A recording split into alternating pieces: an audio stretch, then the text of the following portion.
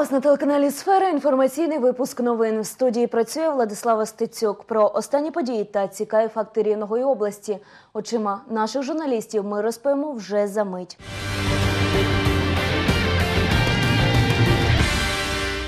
На схід воювати із рівного в зону АТО поїхали близько 70 військовослужбовців. Бойове завдання вони будуть виконувати у секторі А. В дорогу їх проводжали і наші журналісти. Вдома він залишив дружину та двох маленьких діток. У зону АТО Юрій Цимбалюк їде вже в четверте. Каже, захищати країну це його офіцерський обов'язок. Їду захищати свою країну, тому що я офіцер і це мій обов'язок, який я складав присягу і згідно своєї присяги я виконую свої обов'язки.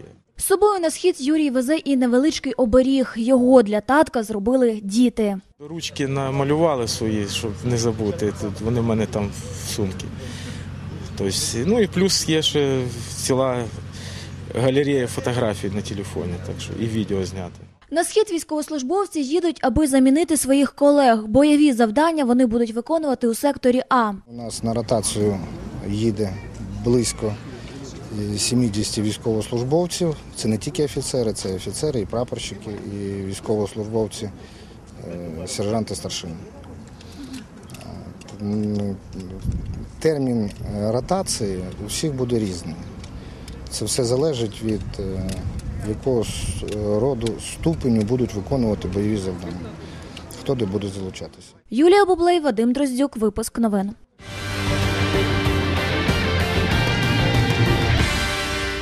Переселенці отримуватимуть допомогу ще півроку, адже термін надання грошової допомоги на оплату проживання для переселенців продовжили на 6 місяців.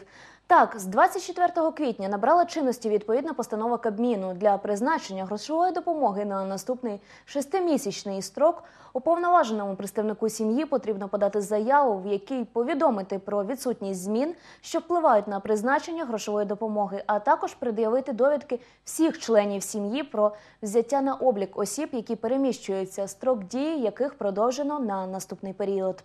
Про це повідомили з прес-служби Рівненської ОДА.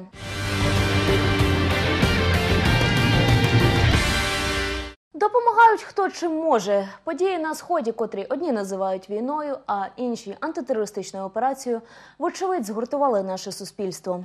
Рівненські волонтери постійно збирають кошти для українських військових, підтримують їх як можуть. А ось місцеві правоохоронці регулярно здають кров для поранених бійців АТО. Так, сьогодні до Рівненської станції переливання крові на запрошення волонтерів прийшли силовики різноманітних підрозділів. Подробиці далі. З самого ранку у Рівненській обласній станції переливання крові можна побачити чимало людей у формі міліціонерів. Прийшли вони сюди не за професійним обов'язком, а за покликом душі. Михайло з Грифону здає кров вже не вперше. каже, коли дізнався від волонтерів, що поранені бійці потребують крові, відразу сюди прийшов. Запропонували, чи є бажання здати. Багато хто потребує, кому не вистачає цієї крові, то якщо є така можливість, чому не здати.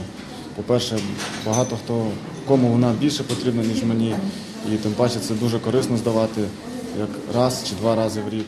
Як розповідає головний лікар станції переливання Ліна Михальчук, вони відправляють кров в лікувальні заклади лише на вимогу останніх. Нині, на щастя, гострої нехватки крові у лікарнях та шпиталях немає. Проте, завдяки рішенню місцевої обласної ради, донорську кров з рівного при потребі можна відправляти в інші регіони. 6 березня на сесії обласної ради було прийнято рішення, і нам надано дозвіл передавати для лікування е, хворих, е, які реабілітуються, поранені були в зоні АТО і потребують наших е, середників.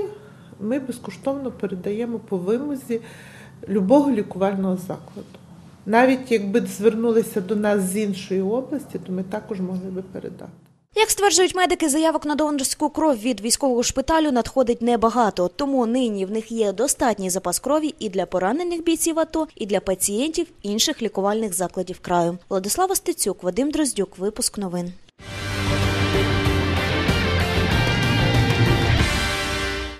Рівненського обласного центру зайнятості звернулося 850 переселенців із Криму та Сходу. Майже 300 з них вдалося підшукати роботу. Нині ж тут активно підбирають робочі місця для демобілізованих військових. Про це повідомив директор обласного центру зайнятості Іван Ткачук.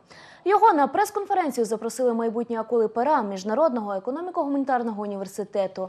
Про що ще спілкувалися, дізнаєтесь з нашого наступного сюжету. У зв'язку з складною економічною ситуацією в країні безробітних у нашій державі та й області, зокрема, побільшало. Констатують представники центру зайнятості. Роботи тут намагаються підшукати і переселенцям, і демобілізованим військовим. На сьогоднішній день до нас звернулося порядка вже 135 людей, які були демобілізовані з лав армії і прийшли до нас. Ми їм пропонуємо перше. Ну, звичайно, перше, це нарахується допомога по безробіттю. Це ті певна кількість коштів, яка людина на сьогоднішній день буде отримувати для того, щоб за що жити, і поки ми не знайдемо разом з ним і з роботодавцем роботу.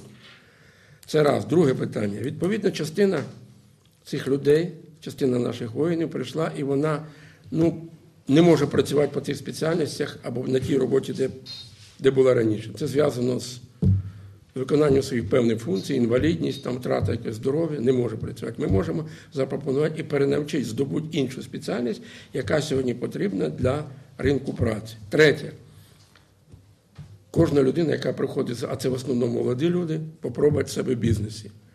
В них там не було, не, немало було, немаленьке було матеріальне забезпечення, через те ці хлопці можуть отримати, ну, як то кажуть, матеріальну допомогу для заняття чи одноразову допомогу для заняття підприємства по максимуму. Це певні кошти для себе, щоб попробувати дати шанс. Із студентами Міжнародного економіко-гуманітарного університету директор обласного центру зайнятості поспілкувався також про працевлаштування молоді та свіжі державні ініціативи в цьому процесі. Є сьогодні постанова чи розпорядок Кабінету міністрів, де для студентів, випускників вищих навчальних закладів, які хочуть працювати в сільській місцевості, держава гарантує, що якщо людина йде працювати до сільської місцевості або території, де відносини до, середу- до сільської місцевості, 10 мінімальних заробітних плат Державне житло повинно для цих людей, які прийшли працювати, повинно фінансуватися на протязі трьох років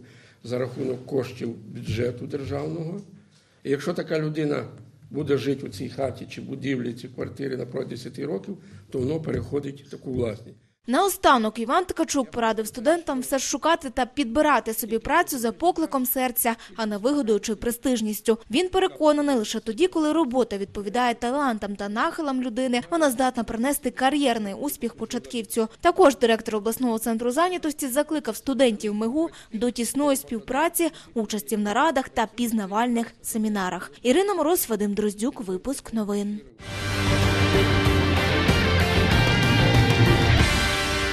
Активні громадяни України об'єднуються навколо спільної мети. Рівне в рамках проекту Децентралізація влади в Україні антикорупційний вимір відвідав народний депутат України, лідер руху Народний контроль Дмитро Добродомов. Він закликав всіх громадських діячів консолідувати свої зусилля. Зокрема, заявив і про наміри співпраці з рівненською організацією Громадський контроль та її головою Дмитром Якимцем. Подробиці далі. Свою концепцію реалізації процесу децентралізації влади представив Дмитро Добродомов у Рівному. Переконаний, в Україні потрібно створити трирівневу структуру місцевого самоврядування та передати на місця значну частину повноважень, а ще викорінити корупцію на локальному рівні та сприяти розвитку малого і середнього бізнесу. Зробити це можна за допомогою спільних зусиль об'єднаного громадського суспільства. І рівне в цьому плані готове до співпраці, каже Дмитро Добродомов. Рівне завжди було активним регіоном. А, Я, наприклад, представляю таку громадську а, громадський рух Народний контроль, який вже кілька років працює. Працював у Львові, тепер працює в масштабах всієї України. Наприклад, я побачив у рівному громадський контроль, дуже схожий за ідеями нашими. Тому одним закликом сьогодні було об'єднання реальне об'єднання всіх активних громадських організацій для спільної участі у місцевих виборах, для того, щоб е, ці люди могли зайти місцеві ради і взяти на себе відповідальність за всі ці ініціативи, які ми зараз проводимо, зокрема і щодо децентралізації. Готовий до плідної співпраці голова організації Рівненський громадський контроль Дмитро Якимець. Переконаний, цілі та функції в них однакові. Наша організація громадський контроль працює в Рівному вже більше двох років. За цей час у нас більше двох з половиною тисяч звернень. От зовсім недавно ми змогли відстояти 3,5 гектари землі в місті, які фактично хотіли подарувати. Тобто нам є чим поділитися досвідом із народним контролем. Зважаючи, що спільна мета, е, ми обов'язково не тільки з громадським контролем, а й з цілим рядом, рядом інших організацій громадських. Очевидно, що це буде об'єднання, тому що саме в об'єднанні є запорука успіху контролю над владою. Тому що контроль над владою це є ключовий елемент того, чого потребує суспільство. Тож лідери громадських об'єднань домовилися консолідувати свої зусилля заради спільної мети і в той же час не припиняти здійснювати жорсткий контроль над діями владних структур. Ірина Мороз, Віталій Гудилко, випуск новин.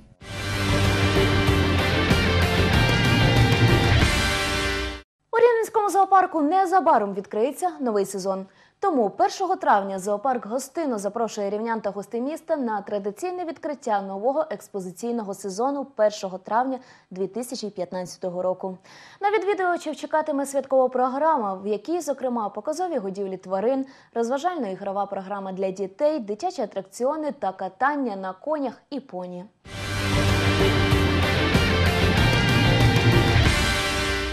На цьому ж у мене все. Більше новин дивіться на нашому сайті. Залишайтеся з нами та будьте в курсі останніх подій. Побачимось на цьому ж каналі в цей же час. Бережіть себе.